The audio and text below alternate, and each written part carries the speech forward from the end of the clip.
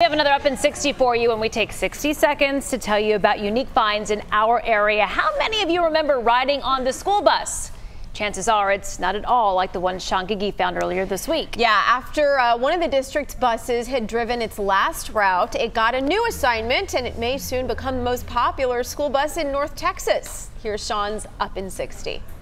When school buses retire, they usually end up at auction or in a scrapyard. But here at Denton ISD, they came up with a much more tasteful way to put some new life into this old bus.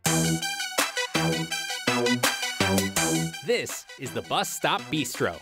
It was the brainchild of culinary arts instructor Tanya Tivis. It is, absolutely. And principal Marcus Borland. This is an opportunity to do something super innovative. The goal is to give students a taste of the real world. And while culinary students may be driving the bus, there were many cooks involved in this kitchen. From architecture and automotive to engineering and welding, everyone brought something to the table. So it's really the whole school coming together to develop something. But really, how good's the food? Delicious.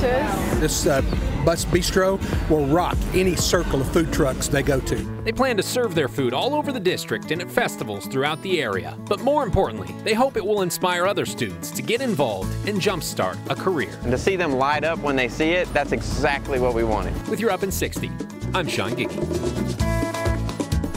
Hey, why not? I mean, food trucks are a thing.